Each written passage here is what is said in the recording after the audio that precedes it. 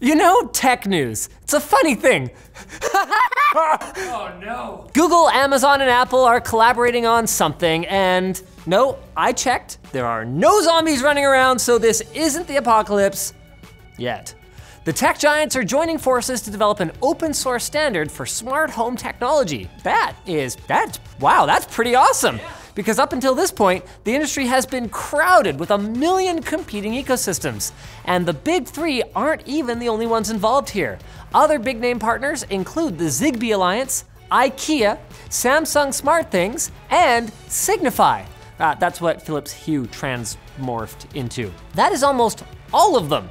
The project is called Connected Home over IP, which is weird because you'd think putting that many smart people in a room would uh, turn into a cooler name, like like Ultimate Smart Home Club, Robot House, Robot House. sure thing, Bender. We finally got our heads out of our butts.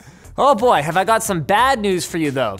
You know how we've been told for years that the blue light from our phones is what's been preventing us from getting a good night's sleep? So uh, every software company went out and added blue light filter modes that warmed up the screen colors to a more orangey red. Well, unfortunately, a new study from the University of Manchester apparently shows that these filters don't do, in scientific terms, jack at all. The researchers studied the reactions of mice to various light conditions and found that because it more resembles the color of daylight, warmer colored light actually affected internal body clocks more than blue light. But the study concludes that instead of reversing course and exposing ourselves to blue light in the evening, we should probably just refrain from using devices with screens right before bed. They didn't even mention though that I'm not a mouse, so I really don't know how seriously to take this. you need to take it most of all, Linus. And Puma has come along to answer the question of why you just haven't been poning as many noobs lately. Well, you didn't have their new active gaming footwear gaming socks. Yeah. Ya dummies. It is designed for indoor and In uh, in arena use and delivers seamless comfort, support, and grip so gamers can adapt to, you know what, no, I'm not even reading this. This is the stupidest press release that I have ever read. I have read a lot of stupid press releases.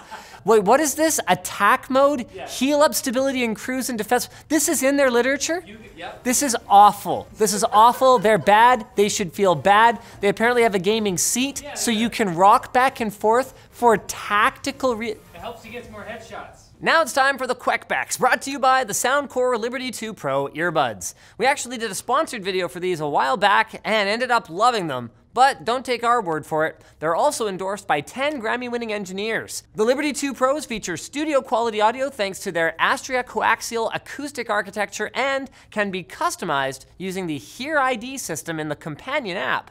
They feature 8 hours of playtime with an extra 24 hours in the charging case and can be charged either wirelessly or through USB Type-C.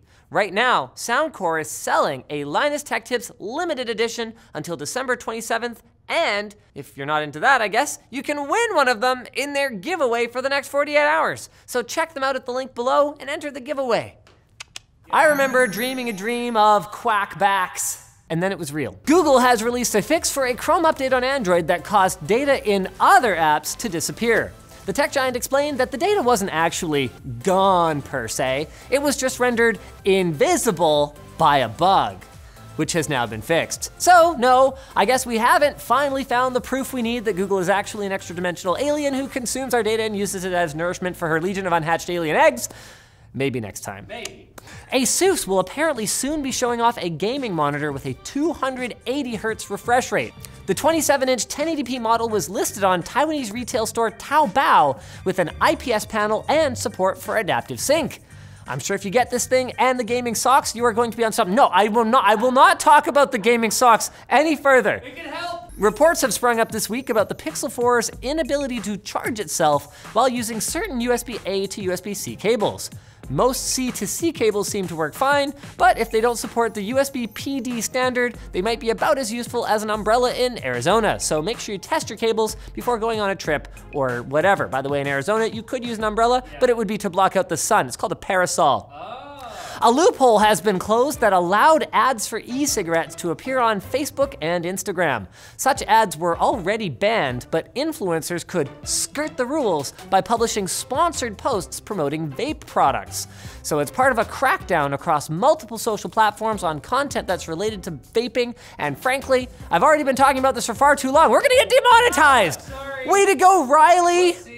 And Californians are about to see more autonomous vehicles on their streets as the state's Department of Motor Vehicles is pushing a proposal through for a permitting system that would let more companies test and deploy driverless vehicles. Helicopters aren't included yet, but if companies like Skyryse continue their R&D, we might soon live in cities where we can worry about nothing anymore, except driverless planes falling on our heads That's.